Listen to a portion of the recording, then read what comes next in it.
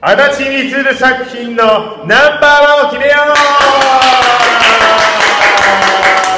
ありがとうございます、ねえー、足立みつる大先生、えーいろんな作品あります。いろんな作品ある中でナンバーワンを決める。まあ要は足立みつる総選挙ということでございます。えー、早速ね、えーもうこの足立みつる大ファンがもう3人ともやめてねおかしいだろ。ね大先生さんもう3人ともファンなんで、えーまずはじゃあこういう順番でいきますか、まあそうです123という順番でいきますか、じゃあ、えーまずじゃあ長君から。何が一番いいでしょうか。まあ、結構あるんだけど、は僕はまあ身内かな。みゆきはい。はい。みゆきときました。はい。は足立先生といえば野球漫画なんだけど、身内は珍しく恋愛のみのストーリー。はい。えまあ、えー、だからやめてって言ってたじゃん。ー、知ってるはずでしょうかやめてくださいよね。はい。まあまあいいですよ。はい。まあ、高校の同級生のは身内、で気をつながっていない身内、はい。その二人の女の子どっちかっていうストーリーなので、えーまず簡単に言うと。簡単に言うと。そうそうそう。でまあ同級生の身内と付き合ってるんだけど最後の最後に俺はやっぱり妹の身内がいいえ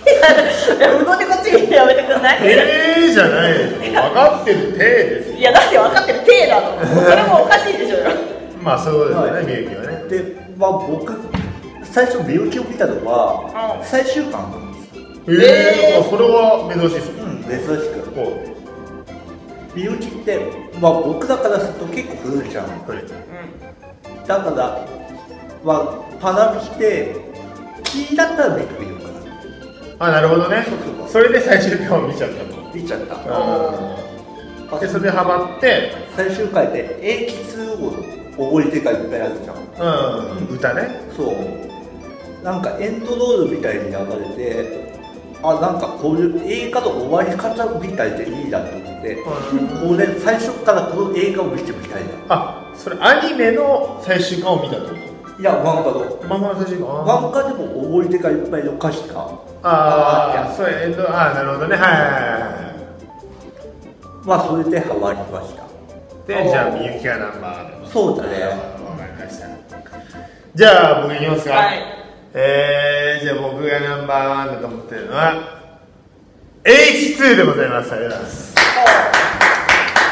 H2 知ってます？もうもちろん知ってます？あ聞いたこと。あええ？ええー H2 っていうのがあるんですよ、えーまあ、タッチと、まあ、H2 どっちだって言われたら、まあ、迷う方多分たくさんいらっしゃると思うんですえー。でどっちかっていうと知名度的にはタッチかなと。まあまあまあそっちの方が聞いたことあるですが僕は H2 を押します、えー H2 の漫画全巻持っております。えー、そう。えー中学2年生の時にやった H2 のドラマ全部録画しております。えー、保存しておりますね、えーまあ、そのぐらい H2 大好きなんですけどもまあね、えー、一つだけねまとめるとおやっぱり主人公の国見ひぬくあごめんなさい噛み噛みました。いや大丈夫です。その辺は大丈夫です。国国何えー主人公の国見ひろこのもう主人公かっこよすぎですよ。お。あのね、えーまあ正直、えー僕が一番残ってるシーンははい。3年生じゃなくて2年生の夏の話なんですけども、えーまあねあのある高校と戦って負けるわけですよ、その負け方がすごいんですよ。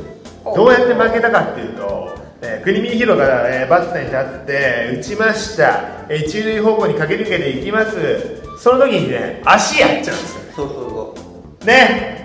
うで俺ちょっといまだに分かんないんだけど、はいはいどうしたベースカバーにかぶさる手を踏み外すじゃそうなんですよ海原海原ですけど、であれ描写的でうん、なんだろうあれひねったんですよ。いやひねったっていうか、こう足足置きます、はもうここもう踏みつけるよっていうタイミングのはずなんですよ。いはいはい。どうやってここからこういけるかと。国見広の運動神経のすごさ。ああ。あそこで避けたんですよね。えー避けたんですよ。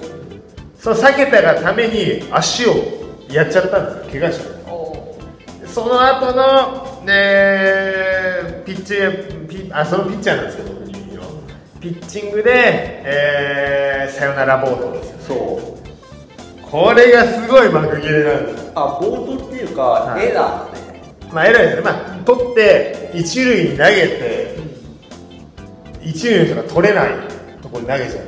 そう。でそれで、えー、サヨナラ負けしたってそうかっこいいシーンがあってその後、えー、本当はヒロインって古賀遥っていう子がいるんですけども、えー、じゃなくてもともと幼なじみ幼なじみの子がいてその人と、えー抱き合うっていうシーンがある。んでそ慰めてもらうっていうシーンがある。んでそこで俺は実はお前のこと週刊よくで好きだったみたいな。そうなんですよまあこれもうああ10分欲しいぐらいなのでもうここまでにしますけども、はい。えーまあ、それでいいシーンがあって、はい。えー僕はねタッチの、えー上杉達也、えー上杉和也と朝倉みなみの恋愛より、はい。えークリーミーヒロ、ね、と古賀遥の恋愛の方が僕は好きなんですよね。おその後結局、まあ、最終的に古賀遥っていうことを多分付き合う付き合ってはないんだけど結局、はい。多分ね。そうだねなんか飛行機をあれ最終的に飛行機ですよね、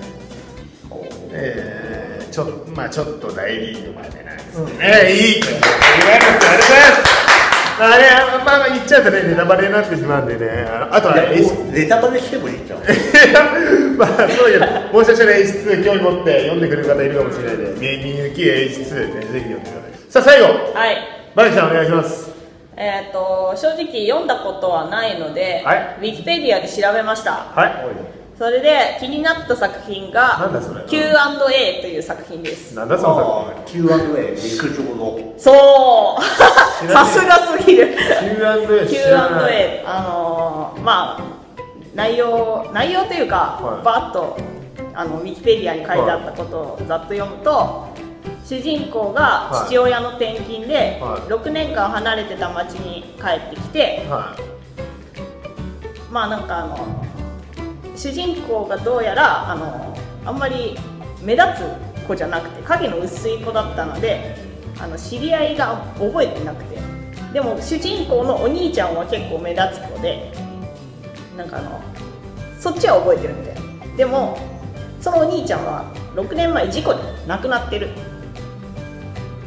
で、まあ、久しぶりにその帰ってきた家で夜に事故に遭った当時のお兄ちゃんの幽霊と遭遇してでまあなんかいろいろあるっていう感じなんだけど おにそのお兄ちゃんの幽霊いが読んでないんですよね。読んでないからいたずらあいたずらをなんか弟に対してなのかな。唯一弟だけがお兄ちゃんの姿を見えてるその小学生の姿をしたお兄ちゃん。Q&A ちなみにいつの作品ですつの作品かは。80年代。いやわかんないけど。でもちょっと前だと思う。あじゃあ最近？今ミックスでやってるはいミックスはい。それの一つ二つぐらい前だと思う。あじゃあ最近じゃないですか全然 H2 みゆきより全然新しいやつです。よまあ全然新しいやつ。だから知らない俺全然知らないですね Q&A でなるほど。まあなんか結構面白そうだなと思って。購入を考えている購入は考えてないけどまああ満喫とか行った時に読もうかなぐらいか私三つ大先生の本持っといた方がいいと思いますよ。まあせめてタッチは読んでみた方が。せめてタッチはね僕もタッチって言ったら僕はアニメでしかアニメでしか見たことないですけど僕は。あ私もアニメはちょっと見た。まあ俺これそんなに有名だけど古いからまあ今見たらそうでもないんだろうと思って見て。いやダメだろ。それはダメだろ。でも面白い。でも面白い。でも面白い。うん H2 も今読んでもあ全然面白いですよ。野球のイメージが強かったからその足立先生。意外とそれ以外の作品もはい意外と書いてる。はい、ということで、えー、足立満先生のナンバーワン作品をね決定したいと思うんですけども、えー決めるのは視聴者のまあ皆さんということで、えー誰のねプレゼンが一番良かったか、えーコメントによろしくお願いします。